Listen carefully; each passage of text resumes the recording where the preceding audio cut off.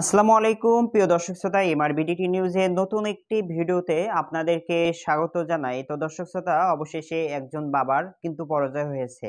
তো দর্শক শ্রোতা, আপনারা বুঝতে পারছেন আমি কোন বিষয় নিয়ে বলছি। তো দর্শক শ্রোতা, আমরা জানি যে রিয়াজের শ্বশুরের দাফন কিন্তু সম্পন্ন হলো। তার ভেতর কি সম্পন্ন হয়ে গেল? একজন বাবার পরাজয়।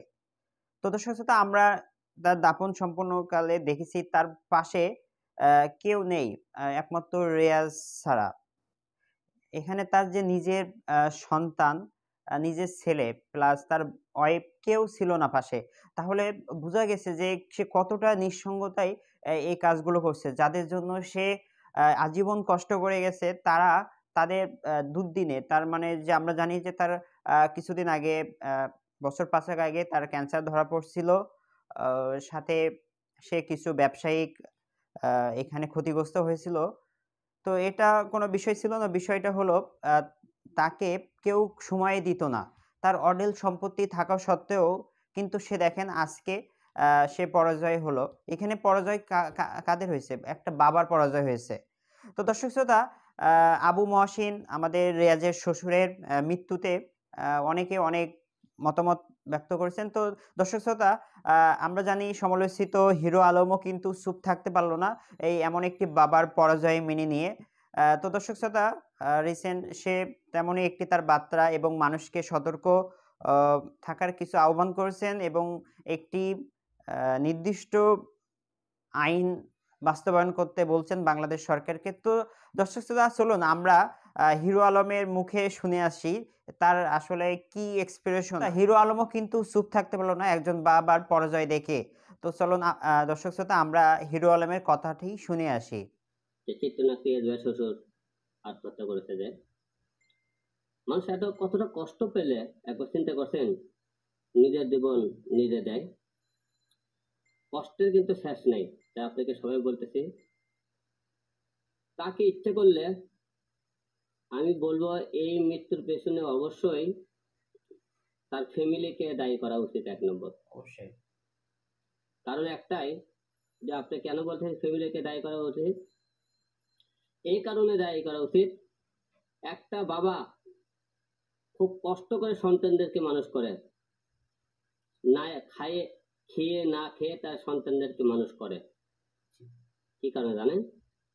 বড় করে কি কারণে? যাতে বৃদ্ধ বয়সে সেই বাবা মা তাকে দেখে, সেই কষ্টের দিনে তাদের পাশে থাকে। একটা বাবা যখন কোনো সন্তান বিদেশে যায়, অনেক কষ্টে জমি জমা বন্ধক থেকে কিন্তু সেই সন্তানের কিন্তু বাইরে পাঠায়। অনেক কষ্টে গরু, জমি, গরু, ছাগল বেছে তাদেরকে লেখাপড়া শেখে হোস্টেল লেখাপড়া শেখে বইয়ে যখন যে আবদার, সোনা লাগবে, গয়না লাগবে, সে আবদার পূরণ করে একটা স্বামী। সে টাকা কোষ থেকে আসে, বউ অতটা কিন্তু খবর নেয় না। ওই খবর না কষ্টের দিন টাকাটা থেকে আসে? একবার চিন্তা করে দেখুন। আজকে এই ব্যক্তিটা মারা গেল। ধরেন সে ব্যবসায়িক ভাবে লস খেয়েছে। অনেকে মনে লস খেয়েছে, অনেকে তাকে প্রতারণা করে টাকা পয়সা দেয় না।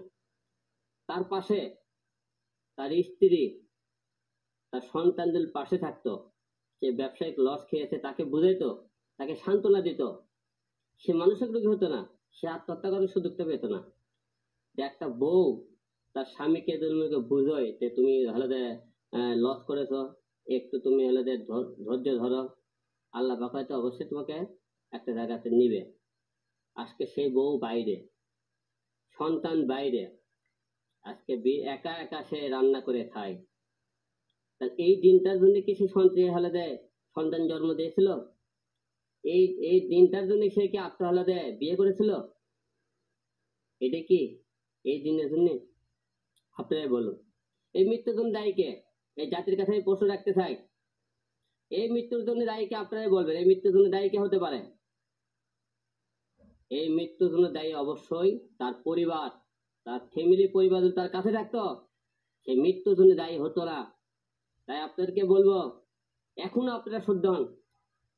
আমার তো মনে হয় আপনারা এখনও ঘুমিয়ে আছেন। তাই বৃদ্ধ বয়সে এই বাবা মা যাবে কোথায় একবার চিন্তা করে ভাববেন আপনারা। তাই আপনাদের আমাদের বাংলাদেশে এমন একটা আইন হওয়ার দরকার যে বৃদ্ধ বয়সে সে বাবা মাকে সে সন্তানরা না দেখবে তাকে আপনাকে কঠোর আইনের ব্যবস্থা করাবে। এবং যে বউ আপনারা যে বউ স্বামীকে বৃদ্ধ বয়সে না দেখবে সেই বইয়ের আপনি কঠোর ব্যবস্থা নিতে হবে। অবশ্যই। দর্শক শ্রোতা আপনারা হিরো আলমের কথাগুলো শুনলেন। আমরা হিরো আলমকে অনেক হে প্রতিপন্ন করি তাকে বানরের সাথে সম্বোধন করি আসলে তাকে হাহা রিয়াক্ট দিয়ে আমরা তাকে ইয়ে করি। আসলে তাকে এত কিছু দেওয়া সত্ত্বেও যে সে আজ যে কথাগুলো বলেছে, সেটা আজকে সত্যি অনেক যুক্তিসঙ্গত কথা বলেছে। যে একটা বাবা কত কষ্ট করে একটা ফ্যামিলি পরিচালনা করে একটা ওয়াইফ বা তার ছেলে মেয়ে কি এটা কি আদৌ কি জানে? তো দর্শক শ্রোতা, হিরো আলমের ভাষ্যমতে এই আত্মহত্যার পেছনে কিন্তু তার পরিবারকে দায়ী করেছেন। তো আমরা এটাই তার কথার মাধ্যমে আমরা এটাই বুঝতে পারছি এবং বাংলাদেশে সে তার ভাষ্যমতে একটা কঠোর আইন থাকা উচিত। সত্যি আমার হিরো আলমের কথাগুলো অনেক ভালো লেগেছে যে আজকে দিনে এমন কিছু কথা শুনব।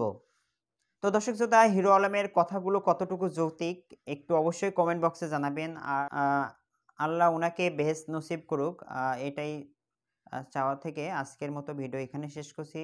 তো সবাই ভালো থাকেন, সুস্থ থাকেন। আর অবশ্যই আপনার ফ্যামিলি মেম্বারদেরকে অবশ্যই সময় দিবেন, তাদের সুখে দুঃখে পাশে থাকবেন, তাই তো? তো সবাই ভালো থাকেন, সুস্থ থাকেন। আসসালামু আলাইকুম।